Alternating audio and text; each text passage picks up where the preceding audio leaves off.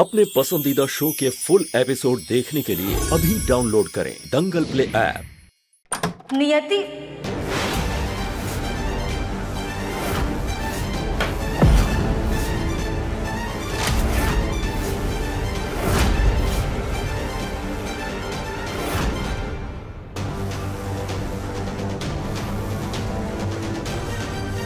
आप ठीक तो है ना?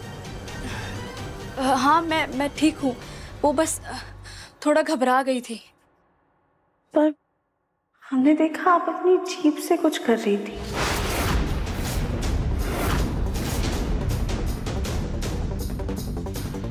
वो वो मेरे होठ सूख रहे थे इसलिए जीप फेर रही थी। पानी नहीं था ना यहाँ पे इसलिए।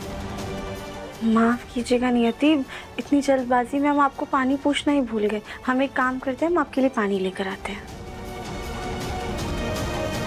अब वैसे एक काम कीजिए आप भी हमारे साथ चलिए किचन में। हम आपको पानी भी दे देंगे और आप कुछ खा भी लीजिएगा। पर हमें भूख नहीं है। पर अगर आपको रात में भूख लग गई तो कम से कम एक बार चल के देख तो लीजिए। आइए।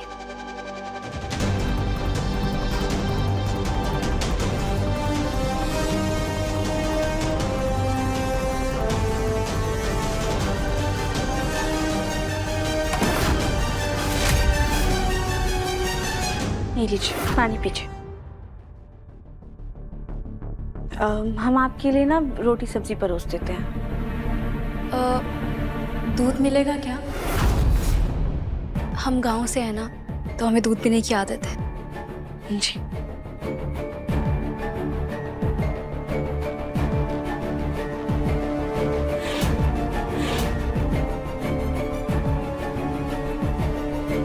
नहीं नहीं मिश्रा जी चिंता की कोई बात ही नहीं है। हाँ जी। नहीं हो जाएगा।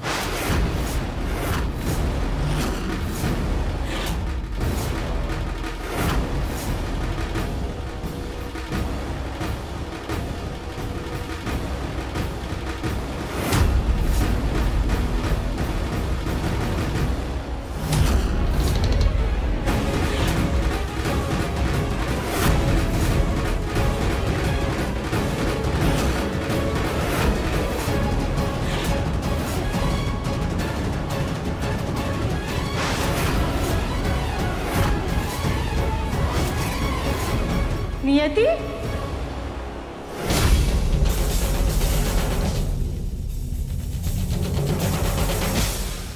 ये आप चाकू के साथ क्या कर रही हैं? वो यहाँ पड़ा था तो वहाँ रख रही थी। कोई बात नहीं आप एक काम कीजिए। हम ही दे दीजिए चाकू हम रख देंगे। अब ऐसे हाथ में नहीं देते चाकू आप स्लैब पे रख दीजिए।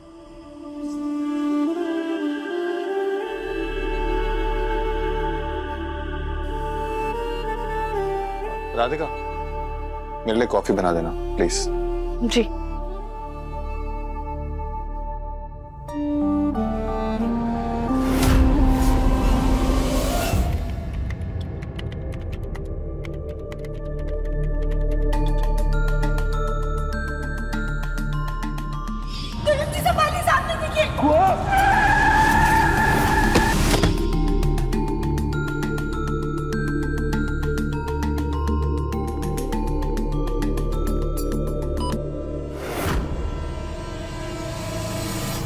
हाँ हो रहा है ये सब?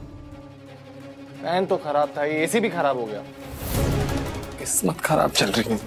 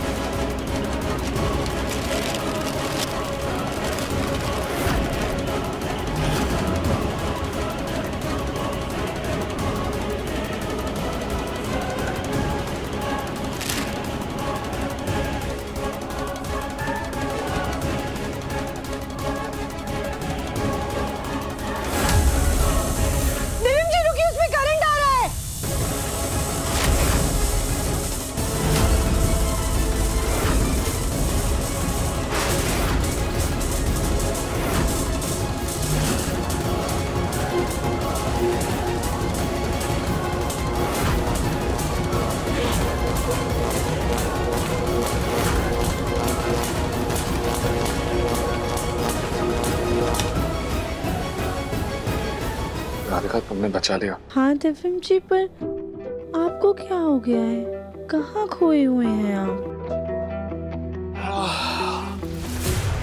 पता नहीं राधिका। वो जब से वो आदमी वाला हादसा हुआ है ना कुछ सही नहीं हो रहा उसके घर वालों ने आके इतना बड़ा इल्ज़ाम लगा लिया हम लोगों पर जबकि हमने कुछ किया भी नहीं है।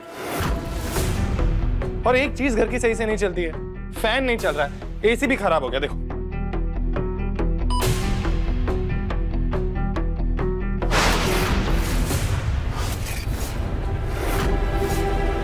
नहीं चल रहा था अभी थोड़ी देर पहले तक। अरे मैंने बहुत ट्राई की थी। हाँ दिव्यम जी कोई बात नहीं आप आइए बैठिए आइए बैठिए आराम से।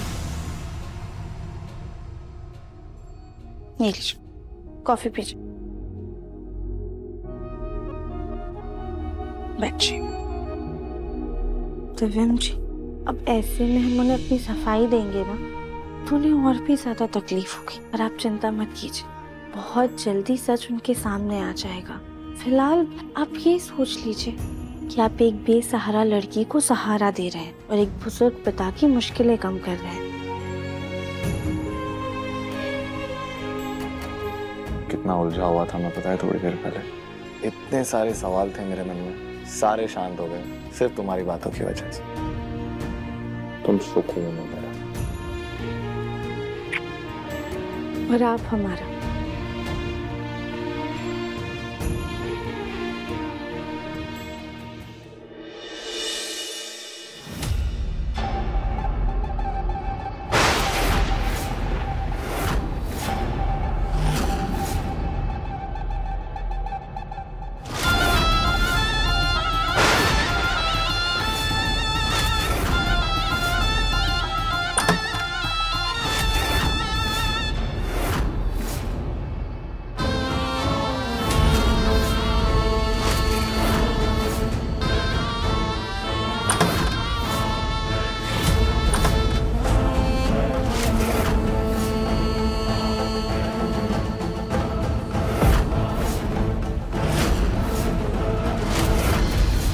बड़ा घर है कि अंधेरे में उस हथियार के कमरे तक पहुँच ही नहीं पा रही हूँ मैं।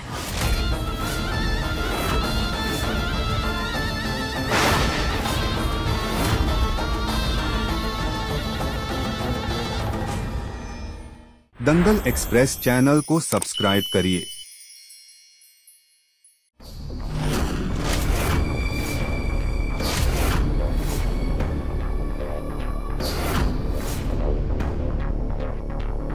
यूँ आधी रात को भूतों की तरह क्यों मंडरा रही हो?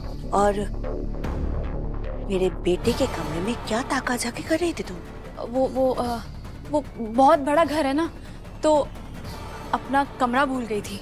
तुम्हारा कमरा इस तरफ़ नहीं है। उस तरफ़ है। जाओ।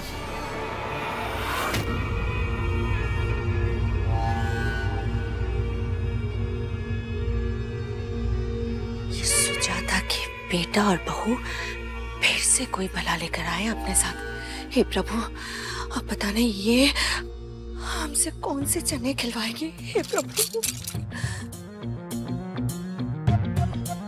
आप हमारे मुन्ना के खिलाफ क्या बड़बड़ा रही थी? क्या कर रही हैं आप? सुजाता तुम्हारे कानों में मुन्ना शब्द पकड़ने के कोई एंटेना लगा हुआ है क्या?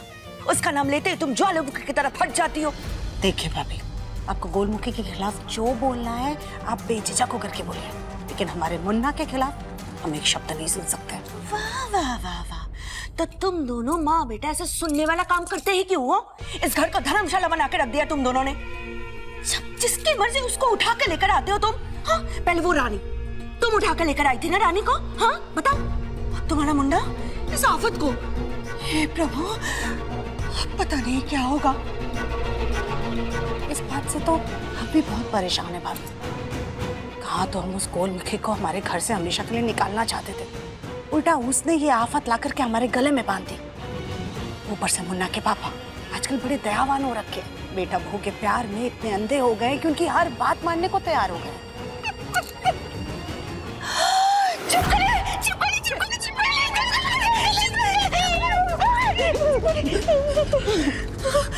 आजकल ना घर में बहुत ज़्यादा छिपकलियाँ और मकड़ियाँ हो गई हैं।